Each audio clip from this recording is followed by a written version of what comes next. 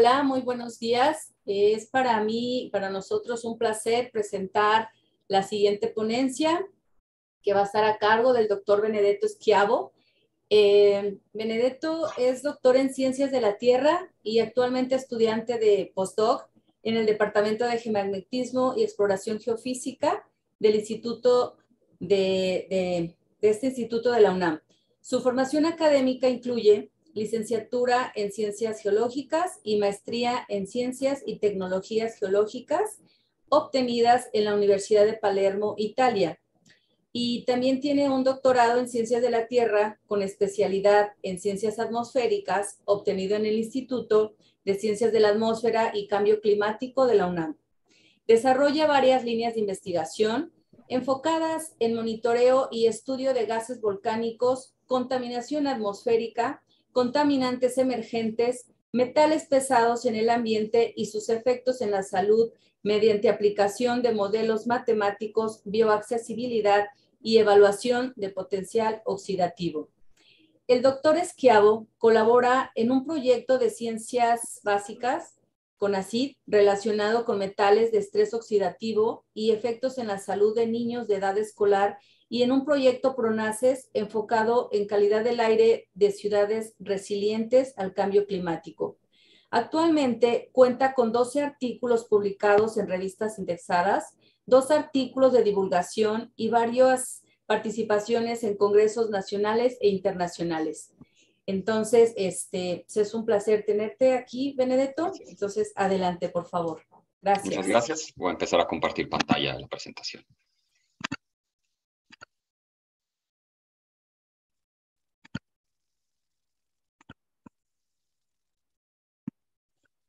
Ok, muchas gracias. Eh, es un placer estar aquí. Eh, hoy le voy a hablar de, mm, eh, este, esta presentación del título de Distribución espacial entre enfermedades crónicas, exposición, riesgo a la salud y potencial oxidativo del polvo urbano. Esto es un trabajo que yo desarrollé durante una estancia postdoctoral en la Universidad de Sonora. Y eh, lo que le voy a hablar en esta presentación es un estudio que desarrollamos en la ciudad de, principalmente, precisamente en la ciudad de Hermosillo, en, eh, en Sonora. Eh, es parte este trabajo de un, de un, proyecto de ciencia básica con ACIT de nombre Destino Ambiental de Metales y Minerales Asociados a Tráfico Vehicular en Polvo Urbano de Hermosillo, Ciudad de Obregón y la Ciudad de México y su posible asociación con eh, estrés oxidativo, eh, con el responsable la doctora Diana Mesa Figueroa, que también fue mi asesora durante esta estancia postdoctoral en la Universidad de Sonora.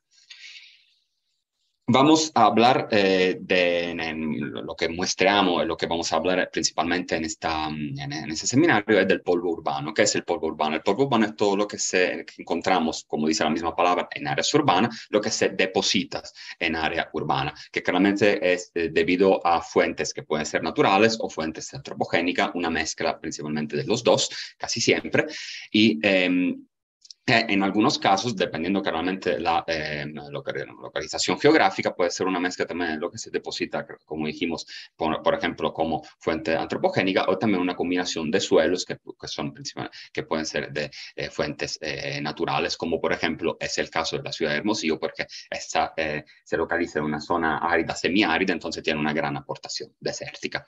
La imagen que puse a la izquierda es justo para identificar del polvo urbano, claramente tenemos diferentes granulometría, diferente fracción fina, eh, pues puede ser de diferente tamaño este polvo urbano, eh, que puede ser bastante grande, puede ser por ejemplo de 500 micra o llegar a milímetros o, o, también más grande, también pero puede llegar a una fracción fina, entonces una granulometría muy baja que puede ser por ejemplo lo que se llama de PM10, PM2.5 o también PM1, ¿qué significa esto? Cuando se entiende PM10, PM2.5, PM1, se entiende todo lo que está abajo de este valor. Por ejemplo, de PM2.5 se entiende toda una, una granulometría que está menor a 2.5 micra. Entonces, más chica, por ejemplo, de un, de, como se ve en la imagen, de, de, de un, cabello, de un cabello, de un pelo humano, eh, dependiendo claramente el caso. Este polvo urbano claramente no está fijo eh, en un lugar, depende mucho del microclima o del clima que se encuentra en, la zona urbana. Eh, claramente puede ser resuspendido, transportado, dependiendo del tamaño a distancia lejana o corta distancia, esto claramente depende, y de qué es transportado, puede ser transportado por escurrimiento de agua, eh, cuando hay, por ejemplo, zona de inundaciones o, lluvias intensas, da la, claramente dependiendo de la, de la intensidad del viento y su dirección también del viento, y y también eh, puede ser transportado o movilizado este polvo urbano los carros, eh, da las personas que van en bicicleta, también da las personas que caminan y también artículos eh, que estén relacionados justo a las personas que caminan que resuspenden este polvo, eh, este polvo urbano. ¿Por qué es importante estudiar el polvo urbano? Muchos estudios están, por ejemplo, relacionados a lo que se llama particulado atmosférico, que es lo, la parte más fina, claramente, de las partículas que se encuentran suspendidas en la atmósfera. Y también es muy importante estudiar el polvo urbano, también porque, no es, como dije antes, el polvo urbano no, es, no, no está fijo en un lugar, claramente puede ser resuspendido y inhalado, eh, entonces puede ser también, em, puede tener un efecto negativo en la salud humana, dependiendo claramente de su composición. Y esto depende mucho, da, depende de muchos factores, de, las fuentes naturales, antropogénicas, de la industrialización de una ciudad, del tráfico vehicular y de muchos otros factores que genera este polvo urbano, cuáles son los daños ambientales que pueden generar incremento de acidez, eh, pérdida de biomasa, lluvia ácida, deterioro en general de la calidad de vida. Esto claramente son muchas cosas que puede, eh, puede dar, muchas cosas que puede eh, afectar la presencia de polvo urbano, puede afectar un daño ambiental, pero depende siempre claramente de su composición determinó también que hay una relación, eh, esto en varios estudios hace varios años, entre contaminación atmosférica y eh, efectos negativos en la salud humana. Una correlación, por ejemplo, entre partículas ultrafinas, ultrafinas estamos hablando ya de partículas que se acercan mucho a lo que se llama nanopartículas, entonces partículas, por ejemplo, de 2.5, menor a 2.5, menor a una micra, o eh, también vamos en el área de las nanopartículas con enfermedades cardiovasculares y también correlación entre complicaciones diabéticas y exposición al tráfico vehicular. Claramente, no solo esto, esos son solo dos ejemplos, pero sí está eh, confirmado y también esto de la, de, la Organización Mundial de la, de, la, Salud, que la contaminación se relaciona en diferentes eh, modos con, la, con el deterioro de la salud humana. Claramente aquí estamos hablando de la salud humana porque nuestro enfoque es claramente eh, estudiar cuáles son los efectos en la salud humana, pero el deterioro es también claramente en la vegetación, como puede ser también en los animales se estudia en los polvos urbanos, en general se estudian, eh, nosotros lo que, hacemos de, mi investigación, eh, los metales, los metaloides en el que se encuentran en el polvo urbano. ¿Por qué utilizamos más bien, eh, un poquito más correcto decir metaloides? Porque en general de, los metales que se estudian, que podemos decir como metales pesados, hay también unos metales muy importantes, como por ejemplo el arsénico el antimonio, que se estudian bastante por sus efectos negativos como trazadores de tráfico, por ejemplo, como es el antimonio. son en la tabla periódica se definen como metaloide, por eso el término metaloide entre el oide entre paréntesis. Pero, ¿por qué estudiar estos metales? Bueno, los metales, como sabemos, en la vida cotidiana tienen múltiples usos, son tóxicos, algunos, eh, algunos son considerados esenciales para todos los mecanismos metabólicos de nuestro cuerpo, nuestro cuerpo y tienen también un impacto en el medio ambiente.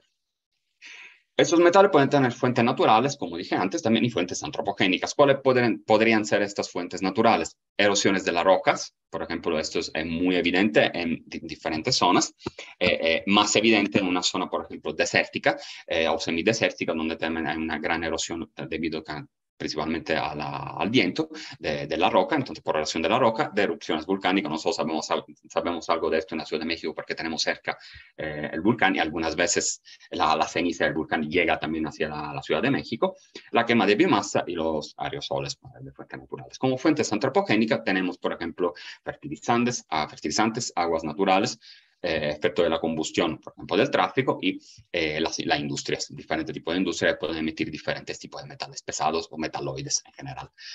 Hay elementos que son considerados, metales que son considerados tóxicos en, en baja o alta concentración son tóxicos. Eh, también son tóxicos porque no entran en nuestra, eh, nuestras reacciones metabólicas, eh, como por ejemplo el arsénico, el plomo, el cadmio, el mercurio, son muy tóxicos, y otros que son considerados como elementos esenciales. Entonces, nuestro cuerpo en determinadas concentraciones lo necesita para estas reacciones metabólicas, como por ejemplo es el hierro, el manganeso o el zinc, por ejemplo, o el, el cobalto. Claramente, esos metales también se pueden volver tóxicos dependiendo de su concentración, eh, del tiempo de exposición a que estamos en contacto con esos metales, eh, por ejemplo, sabemos que el manganeso, eh, esto hay estudio principalmente en niños, eh, tiene efectos neurodegenerativos en determinada, en altas concentraciones, por ejemplo, en, zonas industriales donde hay altas concentraciones de, de manganeso, se, se, vio esta mm, este efecto negativo en la salud, eh, principalmente de los niños, pero en general podemos decir en la salud humana. Entonces también estos son,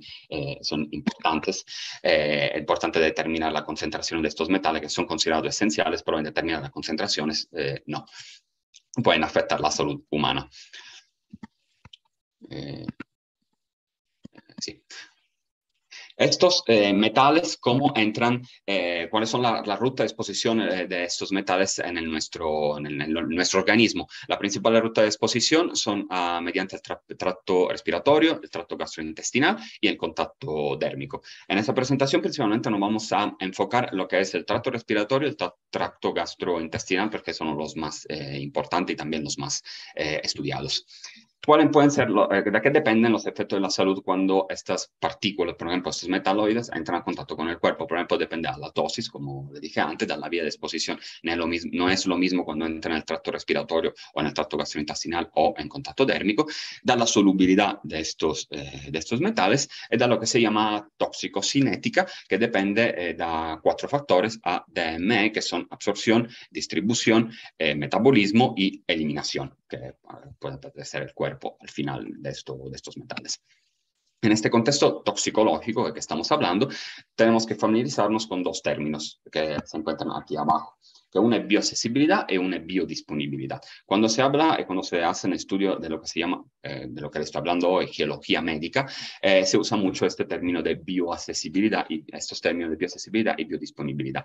¿Qué es la bioaccesibilidad? Es, se entiende toda la fracción fina que se puede disolver a contacto con fluidos, eh, por ejemplo, gastrointestinales o pulmonares y se encuentra disponible por para su absorción. Cuando se habla de biodisponibilidad, y esto es un área mucho más relacionada con, por ejemplo, los toxicólogos o los médicos, es la fracción fina que es absorbida por una determinada ruta de exposición, como dije antes, puede ser respiratorio o gastrointestinal, y que llega al torrente sanguíneo. Llegando al torrente sanguíneo, claramente por esto es más de toxicólogos y, médicos, puede llegar a cualquier parte del cuerpo, puede afectar que sean tejidos, que sean em, eh, órganos. Hay algunos metales eh, que preferentemente, se, por ejemplo, se acumulan en la parte del cerebro. Eh, por esto, cuando se, hay estudio de geología médica, en general son estudios multidisciplinarios, porque aparte claramente de geólogos o de geoquímicos, eh, tenemos que interactuar, eh, es muy importante relacionarnos también con toxicólogos o con médicos justo para poder estudiar en el... En su complejidad, en, general, eh, cuáles son los efectos en la salud cuando los metales entran en contacto con el, con el cuerpo. Vamos al tracto gastrointestinal, cuáles son sus peculiaridades. Cuando la partícula, por ejemplo, no solo la partícula podemos ingerir, dependiendo de su diámetro, eh, hay estudios que dicen que no solo ingerimos diariamente partículas que van de micra a también a milímetros. ¿Y cuál es el destino de esta partícula ingerida? Primero pasan por, el, eh, por la boca, luego por el estómago y por el intestino. Y pasan a través de diferentes procesos, diferentes partes son menos o más ácidas. Por ejemplo, el estómago llega con un pH de 1 a 5 y hasta que llegan al intestino con un pH de 4 hasta 7.5. En estas dos partes llegan dos, eh, pasan dos procesos diferentes. Por ejemplo, en el estómago hay mm, el proceso de disolución y luego cuando llega al intestino es el proceso, el proceso por, por la determinada característica del intestino es por el pH de, absorción. Una vez que realmente, como dije antes, que llega la absorción, hablamos de biodisponibilidad. Es muy importante, y esto lo diré varias veces en la, en la presentación, no, he dicho que todas las partículas claramente sean absorbidas por el, por el organismo, depende de muchos factores, uno de esos factores es su mineralogía y su solubilidad. Y cuando se estudia eh, el tracto gastrointestinal, se habla de bioaccesibilidad oral, que la bioaccesibilidad, que es la, fase gástrica más la fase eh, intestinal. ¿Cómo se estudian estas, estas fases? Con método, eh, se pueden estudiar con método en vivo, entonces son mm, experimentos en vivo, por ejemplo, con, con, animales, o in vitro, simulando, que es lo que hacemos nosotros, in vitro, simulando cuáles son las condiciones al interno del tracto gastrointestinal, en este caso. Eso se hace, generalmente son estudios ya publicados con varios reactivos y eh, varios, que, que, se juntan para eh, simular las condiciones internas del estómago y del intestino para llegar a la bioaccesibilidad oral. Vamos al tracto respiratorio. También en este caso, eh, junto a lo que dije antes, hacemos estudio in vitro del tracto respiratorio utilizando siempre diferentes reactivos que simulan las condiciones internas del, del pulmón. Eh, ¿Cuál es la diferencia entre el tracto gastrointestinal y el tracto respiratorio? La diferencia es que cuando hablamos del tracto respiratorio a los pulmones, a los alvéolos, no llega cualquier tamaño de partícula. Llegan partículas principalmente de menores a 2.5 micra. Menor el tamaño de partícula, más fácilmente llega a los alvéolos, a lo que se llama macrófago alveolar, y claramente más dañina es para, para el organismo. Cuando hablamos de bioaccesibilidad pulmonar, en general en vitro se intentan simular dos soluciones. Una que se llama solución Gamble, que es la solución del pulmón, eh, más neutra, alrededor de 7, y la solución que se llama ALF, que es la solución del macrófago alveolar. ALF es Artificial Lysosomal Fluid. Y también en este caso, a contacto con los fluidos, eh, eh, hipotizamos en este caso en la parte más interna del pulmón, eh, del, macrófago alveolar, se puede hacer disolución de, esta, de estas partículas de ese metal y luego ir a, directamente, a ser absorbida dal, dal, macro, e ir al, dal macrófago y al torrente sanguíneo. ¿Qué generan hablando de tracto gastrointestinal o tracto respiratorio, cuando las partículas llegan a ser absorbidas o a ser a contacto eh, con estos fluidos gástricos o fluidos pulmonares ácidos, ya que eh, se puede generar, dependiendo del tipo de partícula, da su mineralogía, da su tamaño, da su forma, da varios factores, da su solubilidad, lo que se llama estrés oxidativo. El estrés oxidativo, en general, da, eh, excesivo a, a lo largo del tiempo, daña las células. ¿Qué es el estrés Perdón, ¿qué es el estrés eh, oxidativo? Como escribí aquí arriba, el estrés oxidativo, en términos muy simples, es eh, un desequilibrio entre radicales libres y antioxidantes. ¿Qué, ¿Qué, es un radical libre? Es una molécula que contiene oxígeno con un número desigual de electrones. Y esta desigualdad vuelve el radical muy reactivo. Entonces se generan reacciones de oxidación. Un antioxidante, por lo contrario, es una molécula que puede donar un electrón a un radical libre y no volverse eh, inestable. Esto eh, causa que el radical libre eh, sea, em, vuelva una estabilidad y se vuelve menos, menos reactivo. El, el, metaloide provocando ese estrés oxidativo entonces genera lo que se llaman ROS, radicales libres, en inglés son Reactive Oxygen Species, especies reactivas de oxígenos, que pueden ser, por ejemplo, el radical OH o el radical O, o, O2, menos, que son especies muy reactivas y que generan esta producción de ROS, entonces este excesivo presencia de estrés oxidativo. Pueden generar daño en el ADN, interacción con el sistema antioxidante, entonces consumir los antioxidantes que se encuentran en el cuerpo, deterioro de la membrana o alteración también del, del metabolismo. Vamos ahora a familiarizarnos también con otro término que es muy importante, que es lo del potencial oxidativo. Ok, nosotros sabemos que es el estrés oxidativo, los metales, las partículas, varios, varias cosas pueden generar estrés oxidativo, pero ¿cómo vamos a saber cuánto, eh, cuánto oxidan estas, por ejemplo, partículas o, metales? Esto lo sabemos haciendo eh, un estudio del potencial oxidativo, que es la capacidad de las partículas que, de generar ROS, entonces especies reactivas de oxígeno, de oxígeno por la oxidación o el consumo, eh, al contrario, de, anti, de antioxidantes. ¿Por qué es muy importante hablar de radicales libres? Porque radicales libres puede afectar el organismo eh, eh, dañar claramente por esta fase de oxidación, por ejemplo, órganos o tejidos, el ADN, como dije, o proteínas también. Además, es causa de procesos también inflamatorios. La primera cosa cuando hay una excesiva presencia de estrés oxidativo es una inflamación, puede ser en diferentes partes del cuerpo, y en proceso más, eh, más, eh, más importante, más, eh, más importante, podemos llegar también a enfermedades agudas y enfermedades crónicas, que pueden ser, por ejemplo, diabetes, cáncer o también, también enfermedades o procesos neurodegenerativos. cualquier persona en la vida cotidiana, eh, eh, produce radicales libres. Es por esta razón también que muchas veces escuchamos los médicos decirnos que tenemos que comer, comer consumir muchos antioxidantes justo para luchar contra este continuo estrés oxidativo que estamos expuestos. ¿Cuáles pueden ser las, otras fuentes, por ejemplo, que pueden generar estrés oxidativo? La presencia de elevada concentración de ozono, por ejemplo, de pesticidas, eh, humo de cigarro, personas que, que fuman o la simple contaminación que estamos expuestos todo, todos los días. Y otras fuentes pueden ser, otras fuentes sí pueden ser, por ejemplo, una dieta alta en azúcar, un consumo excesivo de alcohol o, por ejemplo, personas que padecen obesidad. Eh, no se puede parar esta formación eh, eh, de, de, radicales libres, entonces este estrés oxidativo, pero es posible realmente minimizar esto justo con, el consumo de antioxidantes, por ejemplo con una dieta rica en antioxidantes, fruta y verdura, consumiendo, no sé, pescado, nueces, vitamina E, vitamina C, todo, todo estas, estas cosas, justo para limitar la, este estrés oxidativo a que todos, claramente todos los días estamos sujetos. Cuando se empieza un estudio en general de geología médica, se empieza a estudiar eh, lo que hasta ahora, se necesita para empezar la investigación de un modelo conceptual. Aquí pues un modelo muy, muy sencillo. ¿Qué, qué, qué tiene este modelo conceptual? Nosotros tenemos que definir una fuente, mecanismo de transporte, mecanismo de deposición, vía de exposición a que vamos a enfocarnos y luego cuál es el receptor. En este caso puse claramente ese ejemplo muy simple, que una fuente natural o antropogénica, eh, un mecanismo de transporte puede ser el viento, el agua, mecanismo de deposición o también de lisiviación. La vía de exposición, eh, en este caso nos vamos a ocupar principalmente de inhalación y eh, ingestión.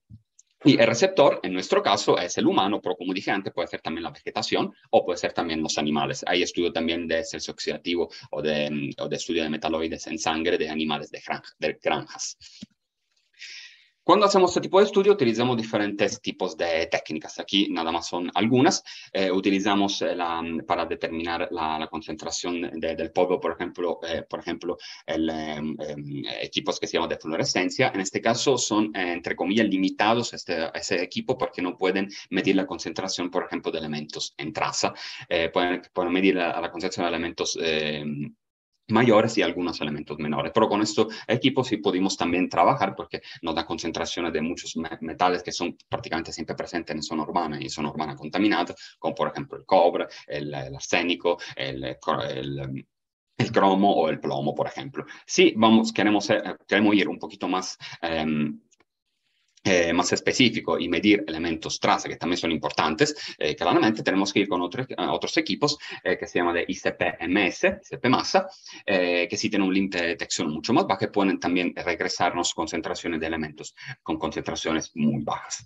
Otros equipos que utilizamos son, por ejemplo, el equipo de DRX, de difracción de rayos X, que nos ayuda a identificar la fase mineralógica. Lo que dije antes, es muy importante identificar la fase mineralógica cuando se habla de bioaccesibilidad, porque esto depende eh, mucho, de esto depende mucho su solubilidad y si tiene la capacidad de ser absorbido por la, eh, después para, para, lo, para, en el cuerpo después que entra en contacto con los fluidos eh, de gastrointestinales o, de, los pulmones. Y otra que utilizamos mucho son análisis de morfología y tamaño de partículas que se eh, desarrolla utilizando el, microscopio de barrido que se llama SEM. Estos son algunos de, eh, de, los equipos que, que, usamos. Otro equipo que usamos son también los tamizadores, que tamizamos la muestra hasta llegar a una determinada fracción fina para poderla estudiar. Eh, es una mapa eh, de identificación de los puntos que muestramos en la ciudad de Hermosillo. Ese estudio lo hicimos en diferentes temporadas del año, eh, hablando de Hermosillo pre la estación monzónica y post la estación monzónica. Y como le voy a enseñar antes, sí encontramos mucha diferencia en concentraciones. Todos estos puntos son escuelas primarias, porque el estudio estuvo enfocado en, um, en la exposición de niños de edad escolar primaria, eh, en este caso, eh, y sus eh, posibles efectos en la salud. Estas muestras fueron tomadas entre, de las escuelas y eh, una vez que tenemos estas muestras, claramente cuando llegan al laboratorio pasan por un proceso, por ejemplo, de que se tiene que secar y luego de tamizaje, como dije antes. El tamizaje que usamos nosotros en este estudio es un tamizaje hasta que llega hasta una, una fracción fina de menos 20 micra, entonces menos 20, micra, y eh, no, como eh, tamizadores mecánicos no podemos llegar a una fracción menor de esta. Se puede llegar con otro tipo de, técnica, por, otro, otros tipos de técnicas que nosotros no utilizamos en este caso. Entonces la pregunta es, ¿por qué entonces nos dijiste que la, las partículas, por ejemplo, muy finas de 2.5, 1 son las más dañinas, eh, las de menos 20, de menos 20, menos 20 micra claramente afectan menos la salud? Para responder a esta pregunta, hicimos perdón, hicimos eh, un estudio del tamaño de partícula. Pero primero de llegar a esto, le quiero enseñar que eh, Hermosillo, como nosotros sabemos bien este, este proceso que viene, es eh, las calles de la ciudad de Hermosillo se inundan mucho cuando llueve fuerte, y lo mismo pasa en la ciudad eh, de México, porque la ciudad de Hermosillo está muy pavimentada, tiene poca vegetación en relación a la extensión, a la cantidad de, de habitantes, entonces pasa siempre que hay mucha zona de inundación. ¿Por qué son importantes las zonas de inundación? La zona de inundación, claramente cuando es escurrentía de agua, estos polvo urbano es transportado en, en, otra zona de la ciudad y es acumulado en esta zona. Entonces, la zona de acumulación son también zonas de resuspensión de metales o de partículas que se encuentran en el polvo urbano. Y lo que le voy a enseñar después, también esta zona de inundación coincide con las áreas donde hay mayor riesgo en algunos casos. Como le estaba diciendo antes, y uno de los primeros estudios que hicimos teniendo ya el polvo recolectado, secado y tamizado, eh, es un estudio al microscopio electrónico de, la, de, las partículas. Y vimos algo muy interesante, que las partículas que se encuentran en el polvo de la ciudad de en escuelas, esos son algunos, no son todos, no, no, podía ponerlo todo por una cuestión de, de espacio en la presentación, esos son algunos puntos nada más, que se presentan en estas escuelas, el polvo eh, encontramos que es muy fino. Aquí se puede ver, por ejemplo, que en algunos casos, eh, en esto es más o menos igual a la, presencia en porcentaje de polvo de mm, una micra, 2.5 micra o 5 micra, y en otros casos el polvo de una micra es eh, la mayoría. Entonces es un polvo muy fino, como es en este caso, en este caso el 50%, en otro caso es casi el 60, 60% el PM1. Entonces, le repito, es todo em, la las partículas que son menor a una, a, a una micra. Esta es una, eh, una, una, imagen que sacamos del microscopio electrónico de, Barrido, de identificación de la composición química de la, de la composición de, de, una partícula. Esta en, en, específico es una partícula de hierro. Esta se ve es como es una partícula de hierro de, eh, de origen de combustión, porque como se ve es muy esférica, no es una partícula de hierro de, de origen, eh, de, por ejemplo, natural, de exportación del, del desierto, una partícula de hierro de combustión. En general, así se ven estas partículas. Y aquí hay la escala, aquí abajo de la imagen, es una partícula más o menos del tamaño de 5 micra o un poquitito más. Otra partícula que encontramos, uh, uh, por ejemplo, partículas muy finas, como ven en la escala, este es, toda esta es 3 micra, esta escala, la partícula es también menor de una micra en este caso, entonces estamos hablando de ultra, partícula ultra fino o también en el área estamos hablando de nanopartículas. En específico, esta partícula tiene eh, varios elementos, en, en, especial cromo y cobre, cosa que claramente encontramos en el polvo urbano de Hermosillo. Otra partícula que quiero enseñar que encontramos también esta es del tamaño, por ejemplo, de un micra una micra y medio, no llega a 2 micra, es de, tiene también varios claramente eh, elementos y tiene también eh, arsénico en este caso. Estos son solo tres ejemplos, eh, tenemos mucho más por una cuestión de tiempo y espacio, no lo puse todo, donde pudimos detectar diferentes tipos de partículas en diferentes tamaños y principalmente a un tamaño muy fino.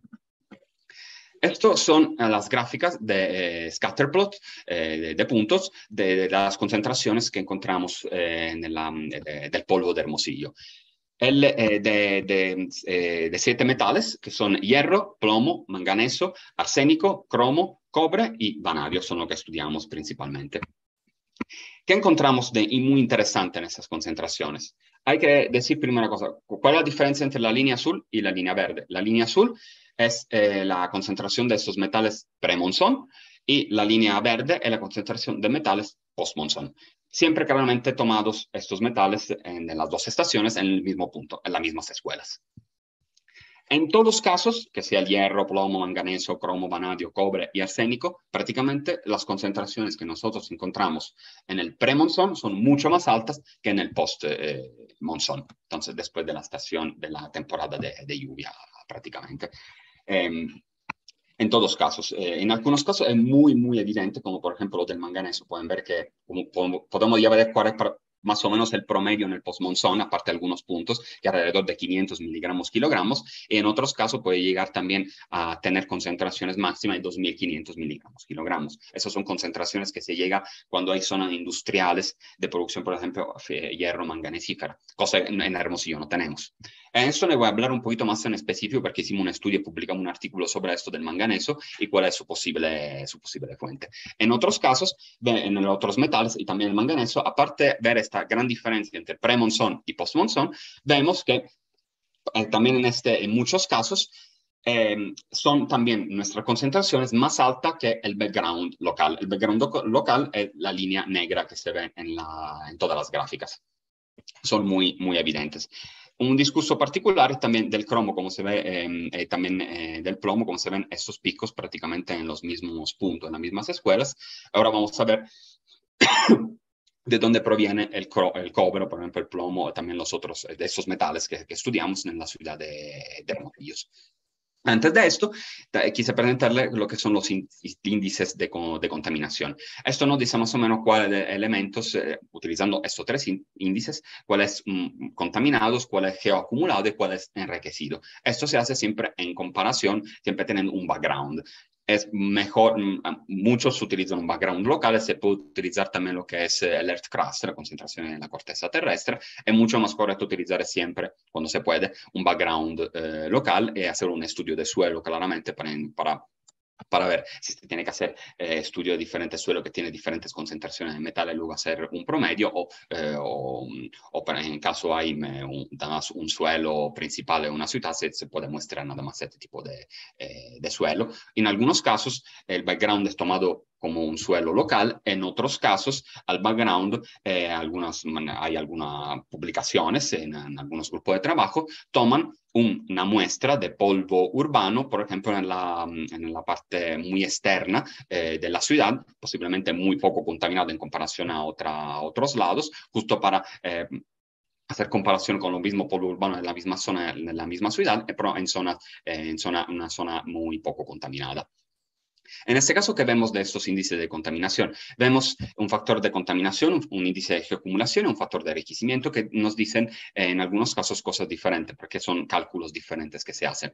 Tengo que decir que el factor de, eh, de factor de contaminación eh, al principio cuando nació era bastante usado, ahora un poquito menos, lo que son más usados son el, índice de geoacumulación y el factor de enriquecimiento. Lo que nos dice el factor, el índice de geoacumulación es que el único metal que él encuentra que es muy geoacumulado es el cobre y en algunos puntos, por ejemplo, el plomo o el arsénico siempre en, en el premonzón, en el cobre en, el pre, en, el, en, la parte del postmonzón. En el factor de enriquecimiento nos dice alguna cosa un poquito más, eh, que siempre el cobre es eh, igual a esto al factor del índice de acumulación, es bastante enriquecido, pero encontramos enriquecido también el plomo, encontramos enriquecido también una parte del manganeso en el premonzón y una parte de, de hierro. El hierro claramente no solo aparte el hierro de combustión por la, la por el transporte, encontramos también un, un gran eh, aporte de hierro y un gran aporte desértico, eh, de, de este, de, no, no, solo de esto, pero principalmente de este, de este material. La, ¿Cuáles son las fuentes? Eh, intentamos identificar cuáles son las fuentes de, esto, de estos metales haciendo también cálculos eh, estadísticos. Y eh, encontramos que, por ejemplo, eh, el vanadio eh, es un poquito más em, alejado de los otros porque el vanadio aparte puede tener un origen también en aporte desértico, pero también vanadio es principalmente debido a la presencia de plantas eléctricas. Y tenemos dos, no muy grandes, claramente en el en el sur y en el norte, donde también proviene este, este elemento, este, este metal, del cromo y el hierro, eh, que los dos casos pueden provenir también de la contaminación antropogénica, pero tienen un fuerte aporte eh, natural por el, eh, por el desierto y principalmente el hierro, porque es muy, muy alto en Hermosillo mucho más, alto, eh, mucho más alto en comparación también a otros estudios que hicieron en otras partes del mundo, pero esto claramente depende mucho de la localización geográfica. Como dije antes, Hermosillo se encuentra en una zona árida, semiárida. El manganeso, el manganeso, nosotros, un estudio publicado en Applied Geochemistry, identificamos que es principalmente de origen natural, de aporte eh, desértico, porque no hay, ningún, no hay nada de, um, antropogénico que pueda justificar una concentración eh, tan alta de, de manganeso. Y los otros metales, arsénico, plomo, y cobre parece que tienen una fuente eh, de, una fuente común de, eh, de, de, de proveniencia, eh, que son principalmente del transporte público, entonces de la contaminación antropogénica, ma principalmente de la vía del tren, porque tenemos el, el ferrocarril que pasa en la zona este, de, eh, en el este, de la, eh, en el este de, de la ciudad de Hermosillo. Después, ¿qué hicimos? Hicimos em, eh, un estudio de la distribución espacial de los eh, metalloides en el ambiente urbano de Hermosillo. Como pueden ver en esta imagen, que es común o más o menos común en todos los eh, metales estudiados, la parte este es la parte más contaminada, es la parte que se encuentra en rojo, el rojo es la parte más contaminada, en azul es la parte menos contaminada. es siempre hicimos la diferencia entre pre y post-monzón de todos los metales. ¿Por qué la parte más contaminada se ve aquí? Porque justo en esta parte pasa el ferrocarril. Eh, y, es también una parte de, de donde también unas zonas de inundación y también de alto tráfico vehicular. Pero principalmente eso es debido a la presencia del ferrocarril. Hay otras zonas por, de, por algunos metales, por, por ejemplo el, el, manganeso, se ven zonas eh, rojas un poquito más concentradas también en la parte norte y central eh, de la ciudad. El, el vanadio está en la parte norte donde se encuentra la, la central, eh, la, la, planta eléctrica, y un poquito también por el cromo en, en, en, amarillo, entonces más o menos contaminado en comparación a la parte roja en la parte norte de la, de la ciudad. Esto es muy importante para identificar también cuáles son las zonas de más incidencia de estos metales y donde también puede, puede ser mayor riesgo por la salud, en general en la salud humana, pero en este caso, como dije, estamos estudiando escuelas, entonces eh, de, de, niños de edad, eh, de edad eh, escolar.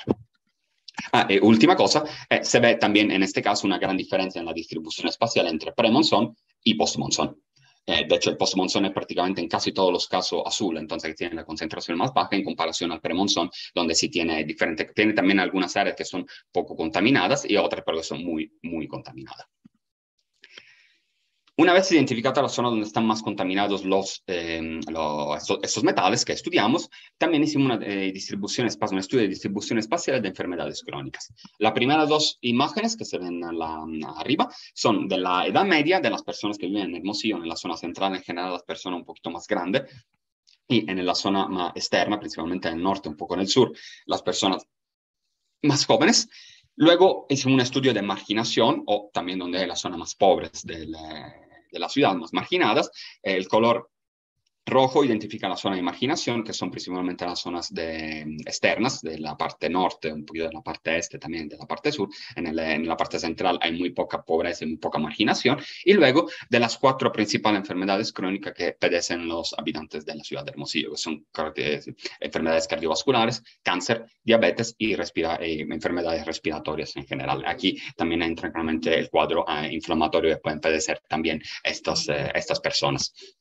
¿Cuál es la diferencia en esto? Se ve en algunos casos, como por ejemplo, como era el caso de, eh, del, del, cáncer, que no parece tener un patrón específico, parece tener, eh, no parece tener un patrón específico, parece distribuido en toda, la, en toda la ciudad, en diferentes partes, no hay diferencia entre la zona de marginación y las zonas de, eh, la zona de no marginación de, de las, del, del más o menos de la, de la zona central de la, de la, ciudad, y otras en vez parecen, como por ejemplo el diabetes, que está más eh, concentrado, estas enfermedades, eh, justo en las zonas de marginación y menos en la zona central. Eh, y, y, y, principalmente, recordamos también, es donde viven las personas más jóvenes.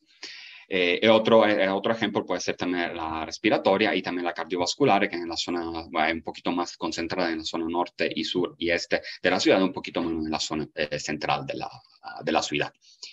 Después de esto, hicimos primero un cálculo de, de riesgo utilizando las ecuaciones eh, desarrolladas por la US EPA, que es la eh, la Agencia de Protección Ambiental de los Estados Unidos, utilizamos principalmente dos ecuaciones para, para determinar, para calcular el factor de riesgo para ingestión de estas partículas, de estos metales, y el factor de inhalación, utilizando diferentes parámetros, eh, que claramente la concentración, el peso promedio de las personas, el tiempo de exposición eh, y, varios otros factores identificamos que eh, la parte con mayor eh, riesgo entre pre y post monzón son más o menos iguales, pero se encuentran en la zona norte de la, de la ciudad, en la zona centro y este de la ciudad. Esto lo esperábamos en esta parte central, eh, principalmente en la parte este, justo porque hay una gran concentración de metales, eh, dijimos justo para la presencia del ferrocarril y área de alto tráfico, y también porque en la parte central de la ciudad, justo aquí, también se nos ve, eh, pasa el río Sonora. Entonces, esta es una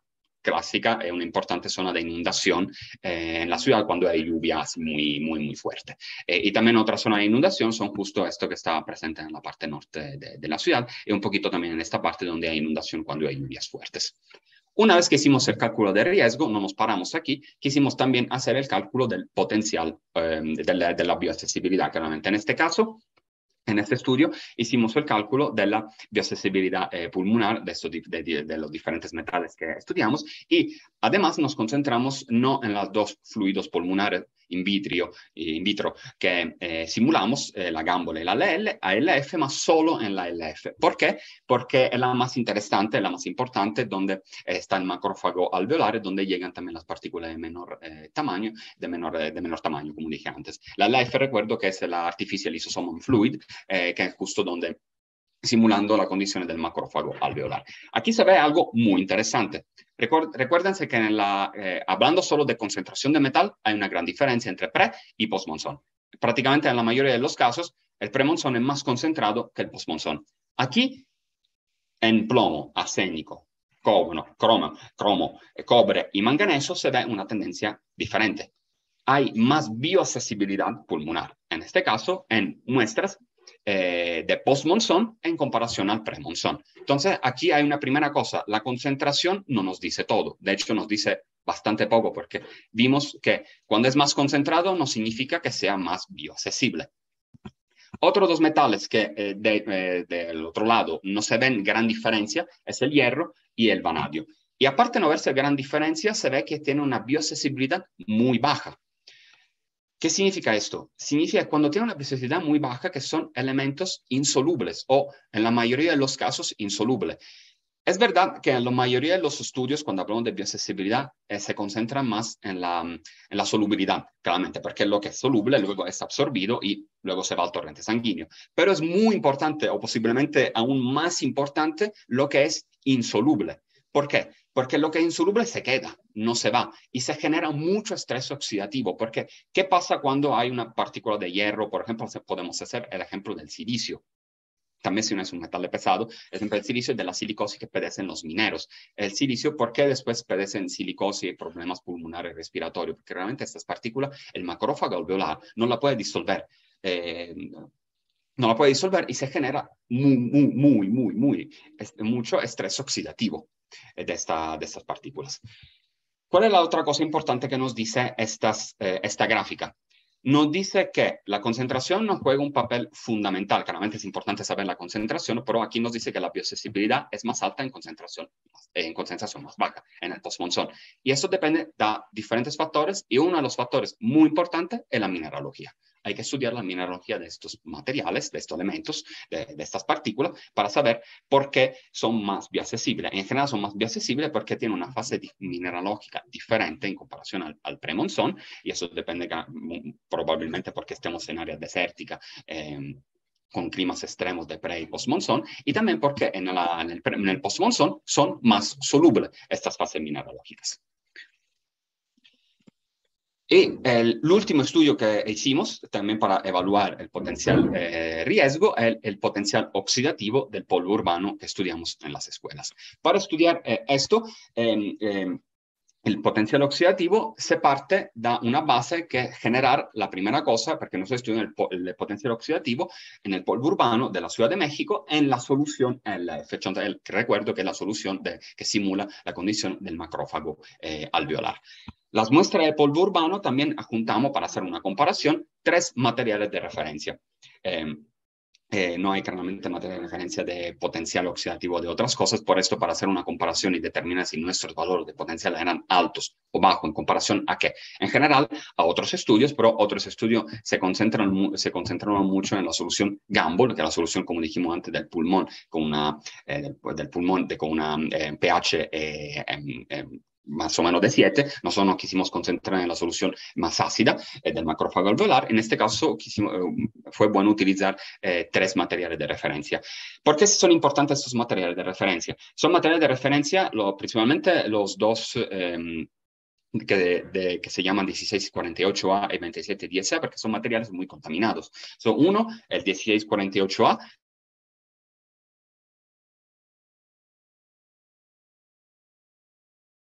entonces tiene concentraciones de algunos metales, como por ejemplo de eh, arsénico o de plomo, eh, por ejemplo, que tienen concentraciones muy, muy, muy altas. Eh, estamos hablando de 6.000 o 5.000 miligramos kilogramos de concentración. Claramente son concentraciones que nosotros no llegamos. Pero se ve una concentración, una, se ve una cosa muy interesante. Prácticamente, en muchos casos, no en todos, en muchos casos, la concentra la, el potencial oxidativo de, nuestras, de, de, nuestros materiales de referencia, tomamos en consideración principalmente los dos más contaminados, que son el 1648A y el 2710A, son más bajos que nuestras muestras. Entonces significa que nuestras muestras tienen algo que está generando un, potencial oxidativo muy, muy alto en comparación a, nuestros materiales de referencia muy contaminados. ¿Y qué puede ser esto? Nosotros eh, hipotizamos que es, por ejemplo, puede ser el hierro. Nuestro hierro es mucho más eh, concentrado, llega en algunos casos, en algunos casos a 80.000 o 90.000 miligramos kilogramo, cosa que esos materiales de referencia no llegan. Pero, por ejemplo, nuestras concentraciones de, por, por, ejemplo, de arsénico o plomo llegan, por ejemplo, a 98 o 23 miligramos kilogramos, cosa que es mucho más baja en comparación a la concentración de nuestros materiales de referencia. Eso significa posiblemente que, por ejemplo, el plomo o el arsénico no están influenciando mucho el potencial oxidativo de nuestras muestras, que es más influenciada, por ejemplo, del hierro o del cromo eh, o del... Um, o, dal, o dal vanadio, por ejemplo, o también de otras cosas. Por ejemplo, en otros estudios, cosa que nosotros no hicimos en este estudio, eh, también la materia orgánica, eh, que, puede, que puede ser presente en el polvo urbano, en el particulado atmosférico, puede eh, afectar y puede generar potencial eh, exceso oxidativo, entonces genera también potencial oxidativo. Eso también eso también hay que, eh, que, estudiarlo más, eh, más a fondo, enfocarme también en otras cosas que pueden generar estos valores tan altos de potencial oxidativo. Y eh, ese estudio de todo lo que le hablé, que le hablé hasta, hasta ahora, lo pueden encontrar en un artículo que fue aceptado hoy, eh, que se llama oh, Oxidative Potential of Metal Polluted Urban Dust as a Potential Environmental Stressor for Chronic Disease. Es nada más aceptado, lo aceptaron ahora, entonces se puede, por quien está interesado, se puede encontrar ya eh, publicado más o menos, yo pienso, en dos o tres eh, semanas. Las últimas diapositivas le quiero presentar un trabajo también que eso sí ya fue publicado el año pasado, específicamente sobre el eh, manganeso en la ciudad de Hermosillo. ¿Por qué decidimos estudiar específicamente el manganeso? El manganeso es considerado, eh, según definiciones de la USEPA, como un contaminante emergente. ¿Qué es un contaminante emergente? No significa que es un contaminante, un metal que no se conoce. Se conoce el manganeso, claramente, eh, hay estudios sobre el manganeso. Pero un contaminante emergente es un metal que no, no, hay una legislación, no está normado no hay normatividad para limitar su difusión en el medio ambiente. Y por qué también, otra razón, porque eh, quisimos estudiar el manganeso porque tiene efecto neurodegenerativo y eso se vio principalmente eh, en niños. Hay también estudios en México eh, sobre eh, efecto del manganeso en niños de edad, de edad escolar. La primera cosa que vimos cuando estudiamos el manganeso, y esto vale también por los otros metales, hicimos, tamizamos, como dije antes al principio, con diferentes granulometría de menos 125, 63, 45 y menos 20 micra, y vimos que hay una gran diferencia en concentración cuando se, eh, hay un tamaño de partícula um, más bajo. Eh, en nuestro caso, eh, principalmente en el, el premonzón, la concentración es mucho más alta en la fracción de menos 20 micra, eh, que es la fracción más baja, como le dije antes, que podemos llegar tamizando eh, con tamizadores mecánicos. Una vez que hicimos este estudio, hicimos el estudio mineralógico. No le, presenté el estudio mineralógico de los otros metales porque aún no lo tenemos, estamos en esto, el artículo está en proceso de los otros metales, esto pero sí lo hicimos porque está publicado del manganeso y que vimos que en el premonzón hay una fase del manganeso que se llama todoroquita, muy poco soluble y esa se encuentra mucho en el, en el desierto de Sonora es presente en, el, en, en, la desértica. También por esto me da otra confirma que nuestro aporte es principalmente desértico. Otra fase que Identificamos eh, sí y no con un punto interrogativo. ¿Por qué sí y no? Porque eh, para funcionar bien la fase de identificación de la mineralogía, necesitamos que también eh, la, la, partícula mineral sea eh, con un determinado eh, grado de cristalinidad. En este caso, el grado de cristalinidad estaba bastante bajo, entonces no estamos seguros al 100% que esta sea la fase mineralógica presente en el post-monzón, pero Puede ser, ¿por qué puede ser? Porque la fase que identificamos puede ser la, la rodocrosita, que es un carbonato de manganeso. El carbonato de manganeso es mucho más soluble en comparación a la todoroquita. Otros estudios que hicimos es de bioaccesibilidad oral y bioaccesibilidad pulmonar. En este caso, del manganeso, en este estudio hicimos los dos. Y los dos nos dicen la misma, eh, la misma cosa, que, en la, que sea fase intestinal, que sea fase gástrica, que sea fase de bioaccesibilidad ALF, del macrófago alveolar, en el postmonzón es más bioaccesible bio, que el premonzón. Y eso se refleja que sea la bioaccesibilidad oral y que sea la bioaccesibilidad eh, pulmonar. Esta última eh, cosa que le quería presentar es el cálculo de riesgo. Porque el cálculo de riesgo es muy, eh, lo que le presenté antes, que desarrollado por la USEPA, es muy limitante así como es. No es suficiente cuando se hace un estudio de riesgo limitarse al cálculo de, estos cálculos de ingestión y inhalación de la USEPA, porque faltan de muchos factores que se tienen que tomar en consideración. Uno de esos factores es la bioaccesibilidad, el otro es también el potencial oxidativo. En este caso hice nada más un ejemplo con algunas muestras en la bioaccesibilidad oral, pero esto vale también en la bioaccesibilidad pulmonar, siempre del manganeso, que se llama una, un cálculo de riesgo ajustado, en el sentido que hay los, los, todo lo que estaba en el, cálculo de riesgo, como por ejemplo la concentración, la edad, el tiempo de exposición, y además le pusimos el cálculo, el valor final de nuestra, eh, de nuestra bioaccesibilidad. Y como ves, cuando se, uh, se, hace el cálculo final de riesgo, que es el HQ, el Hazard Index, hay una gran diferencia. Cioè, si nosotros no, no usamos eh, este cálculo de riesgo ajustado con la bioaccesibilidad nos da en algunos casos, como por ejemplo en algunas muestras, un cálculo un valor, perdón, de riesgo mayor a 1. Y eso significa riesgo, cioè que hay riesgo. Cuando es menor que 1, que no hay riesgo o muy poco riesgo. Pero si nosotros le adjuntamos esta, la, el valor de bioaccesibilidad, como ves, el cálculo de riesgo, la, el valor final de, de, riesgo baja mucho, está todo menos de cero. Por eso es muy importante determinar la bioaccesibilidad y insertarla también adentro de este cálculo. ¿Por qué esto? Porque claramente la bioaccesibilidad nos da una, eh, un valor, una, un, nos dice en manera más detallada cuánto, cuánto, estamos expuestos a una determinada partícula que tiene una determinada composición y a un determinado eh, metal, metaloide. Eh, en este caso puede ser que este metaloide, como dicen, es muy poco bioaccesible y es por esto que el cálculo de riesgo eh, baja mucho um, en comparación al cálculo de riesgo sin poner esta, eh, este detalle, este nuevo valor de bioaccesibilidad. Eh, las últimas, esta es la, última, la penúltima diapositiva, aparte de las conclusiones, donde hay estas estos, eh, todo está publicado, lo que le hablé en esta última diapositiva, sobre el manganeso y su, eh, su origen, y sobre la bioaccesibilidad oral y respiratoria bueno, de, de los pulmones, pulmonar la, del, del, manganeso en Applied Geochemistry, para saber, si quieren también están interesados saber un poquito más de la... De, de la distribución de, la partícula, de las partículas en en el polvo de Hermosillo en Venezuela, de, también de bioaccesibilidad pulmonar, y otro artículo que publicó mi asesora Diana Mesa Figueroa, que como dije antes fue mi asesora en el postdoc de Hermosillo, en Science of the Total eh, Environment. En conclusión, ¿qué podemos decir? Que eh, hay varios contaminantes que se tienen que estudiar en el medio ambiente, eh, no solo los metales que yo presenté hoy, hay mucho más que también afectan en la salud por su toxicidad, eh, se tiene que estudiar también su destino ambiental, el transporte en el medio ambiente, y no solo en humano, también, por ejemplo, en la vegetación es muy importante esto con estudios de biomarcadores. Eh, las áreas de inundación son áreas muy importantes que también se tiene que estudiar y enfocarse porque son áreas de resuspensión de la partícula y de acumulación. La estacionalidad, como vimos en la ciudad de Hermosillo, tiene un juego fundamental, eh, pero esto, por ejemplo, puede ser que en otras partes, dependiendo con un clima diferente, en, hay más, eh, es menor esta diferencia o no hay diferencia. Esto claramente se tiene que estudiar con diferentes climas en diferentes áreas. Eh, la concentración y la bioaccesibilidad puede tener, lo vimos en, el polvo de Hermosillo, un patrón invertido, y esto probablemente depende también porque hay una estacionalidad diferente, el aporte desértico eh, y todo esto que claramente genera uh, fases mineralógicas diferentes y, y también tamaño o forma de partículas diferentes.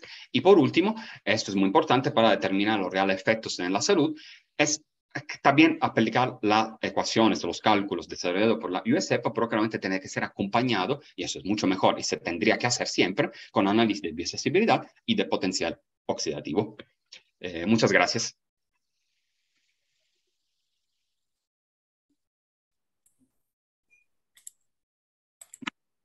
Pues muchas gracias, Benedetto. Eh, una plática muy interesante y muy completa. Eh, podemos abrir eh, la sesión de preguntas y respuestas para aquellos que están conectados aquí en la sala de Zoom o para eh, las personas que nos están viendo a través de, las redes sociales. Eh, en lo que llegan las... Ah, aquí está Rosy, que nos tiene una pregunta. Adelante, Rosy.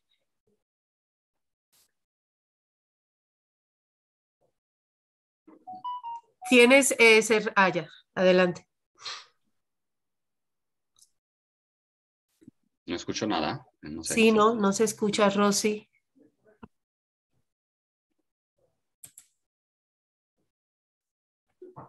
Eh, Miguel, ¿será que, que no tiene, bueno, yo veo que tiene abierto su micrófono, pero...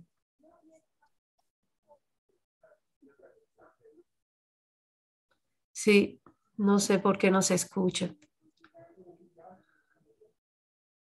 Bueno, yo te tenía una pregunta, Benedetto, en lo que Rosy resuelve ahí su problema técnico.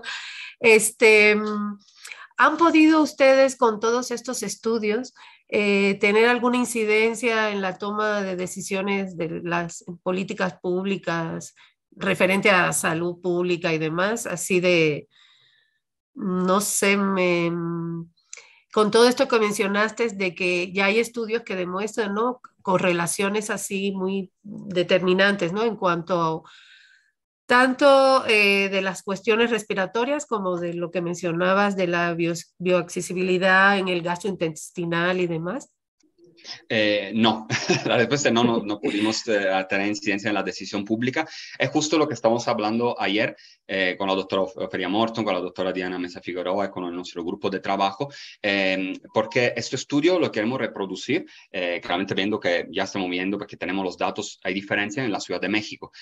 ¿Por qué es muy importante en la Ciudad de México? Porque sabemos que es eh, un área de estudio muy importante en la ciudad, porque es una metrópoli, una megaciudad muy contaminada. Sabemos que nos toman poco en consideración cuando estudiamos ciudades más chiquitas, que ellos creen que son poco contaminadas porque son chiquitas, que pero no es así, porque lo vimos ahora, hay muchos problemas eh, en Hermosillo, eh, que sea por el aporte natural que el aporte antropogénico. Por esto queremos, estamos justo pensando en esto una vez que seguramente tenemos estos datos de la Ciudad de México y podemos hacer comparaciones, porque aparte de ser una megaciudad, tiene un clima diferente de condiciones diferentes que podemos ver cuál es la evolución de estos metales, si hay diferencia en las estaciones, si hay diferencia en la bioaccesibilidad, y luego sí ir a hablar con quien puede tomar, digamos, la, decisión esperando que nos tomen en cuenta. Sí, sí, es complicado. Mira, aquí antes de darle la palabra a Ofe, eh, hay una pregunta aquí en, el, de las redes, dice, soy Ana Lilia, yo tengo varias preguntas, estoy en Zoom, pero tampoco me oyen. Miguel, ¿sabes qué podemos hacer ahí? ¿No nos oyen a los de Zoom?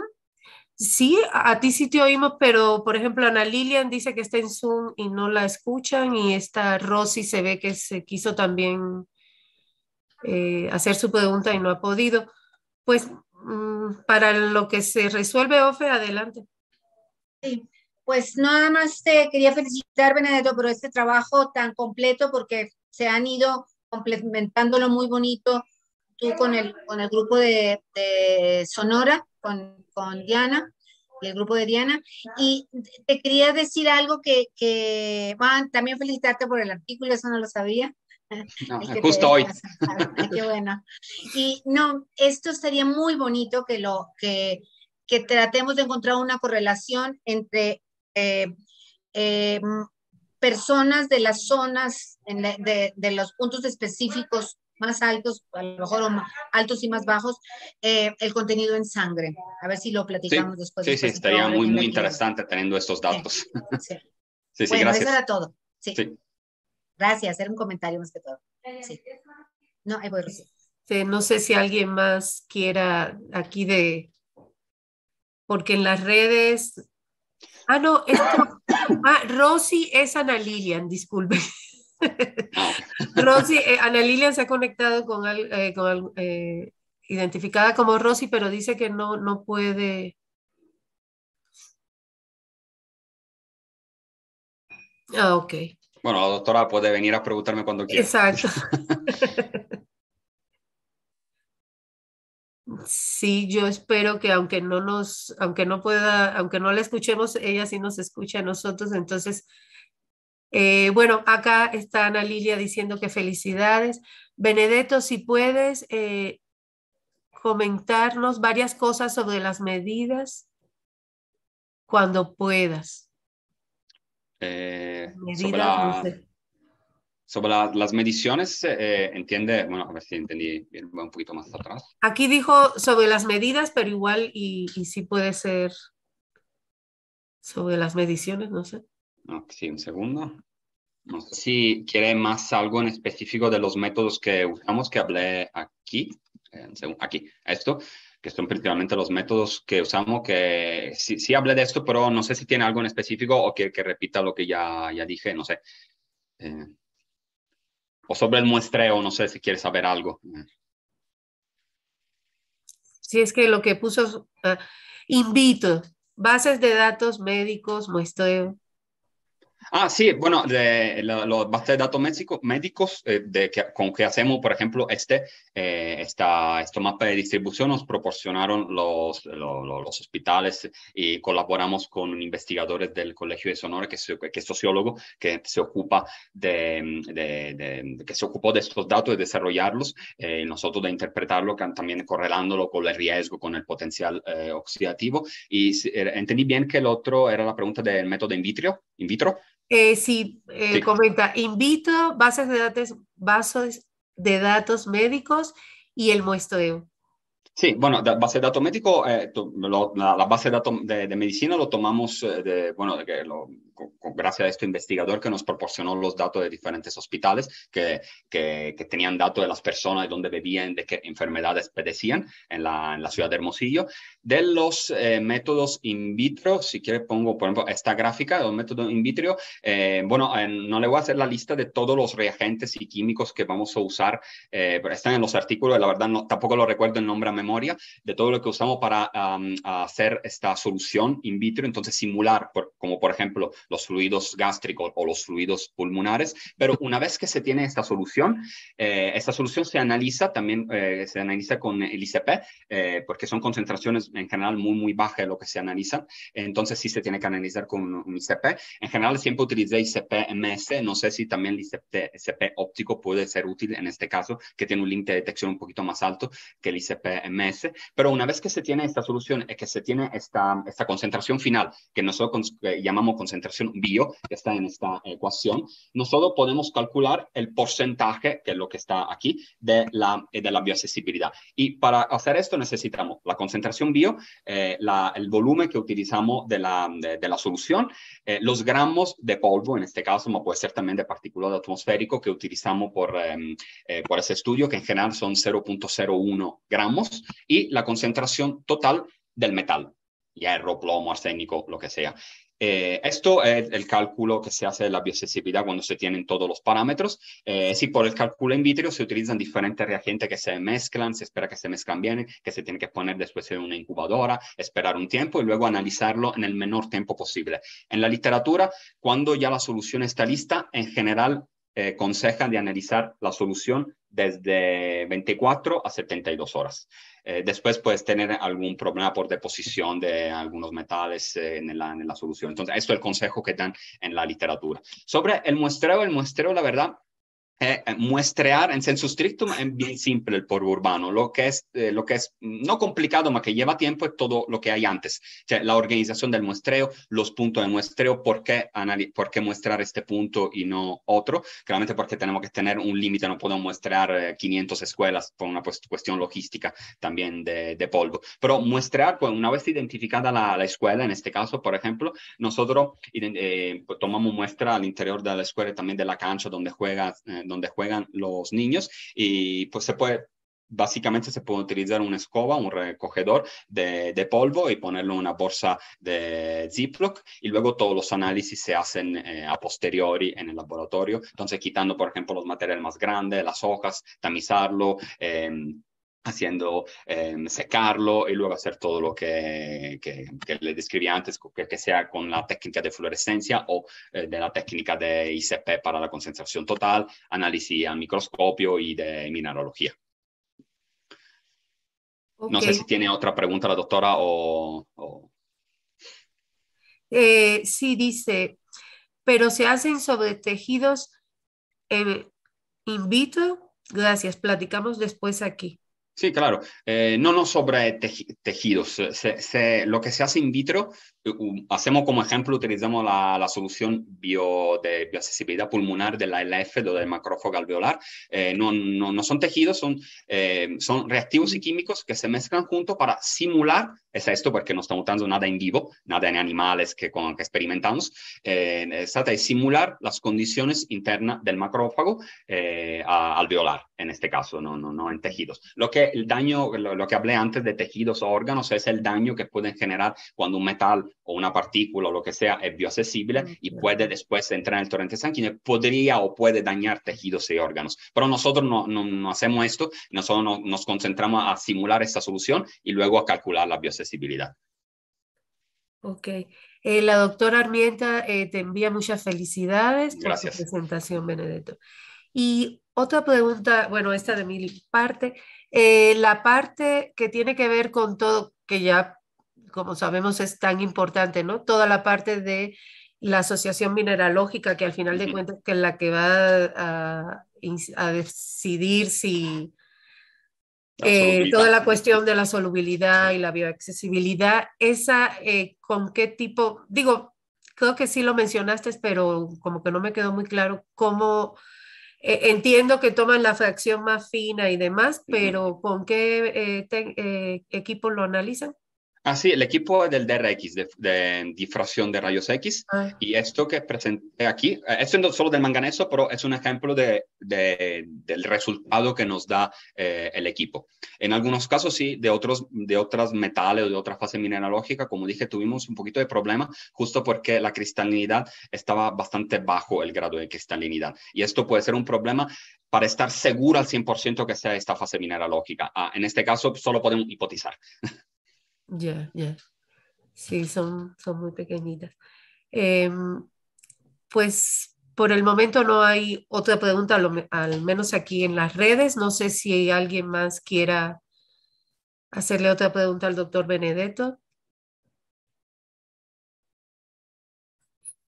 Bueno, silencio. Pues eh, Benedetto, reserva de que llegue una última pregunta. Este, te agradecemos muchísimo tu, tu participación y una presentación tan completa y bueno, y todo este esfuerzo, ¿no? De que es eh, eh, en, toda esta nueva línea de la geología médica que se me hace súper interesante y súper importante, ¿no? Gracias. Este, pues te agradecemos e invitamos a, todos a participar en el seminario del próximo mes de octubre. Entonces, eh, pues muchas gracias y nuevamente te agradecemos, Benedetto. Gracias a todos. Gracias. Hasta luego. Gracias. Hasta luego.